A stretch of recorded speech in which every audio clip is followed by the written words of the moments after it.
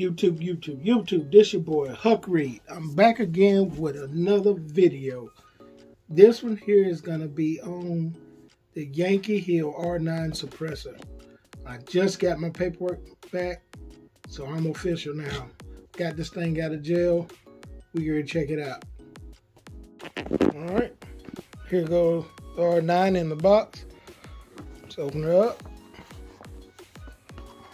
What you got in the box? All right, like a little owner's manual, warning, some Yankee Hill decals.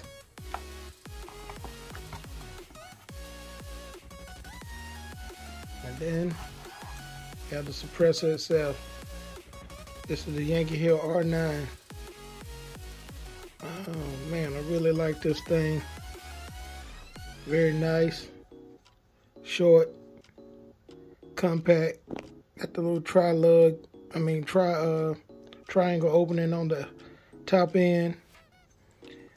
Comes uh, with a half by 28 in, uh, adapter on it.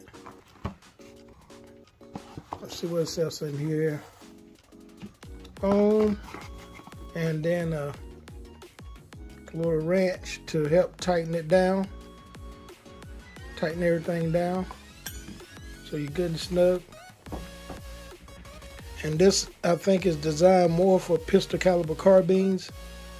So we're gonna be putting this thing on a couple of our pistol caliber carbines and see what she do.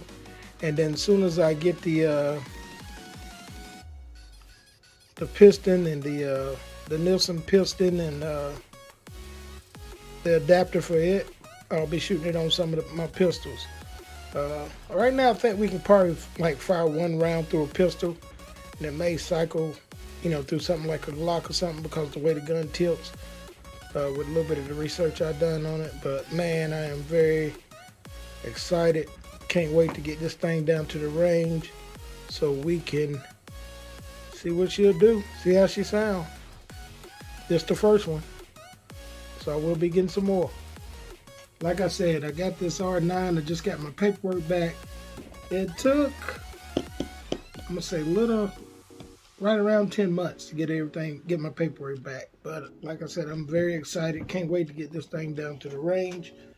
Put a few rounds to it, see what she's gonna do. Uh, man, I'm very excited about this. Like I said, I don't know much about suppressors. This is my very first one. So it'll be a learning curve for both of us. Not like I said, I'm not a big specs guy, but uh, I'll read up on it and do it like a little review uh, whenever I get down to the range. I'll kind of let you guys know more about it as I read up on it. But I'm just excited, wanted to get this thing out to you, let you see what I just got.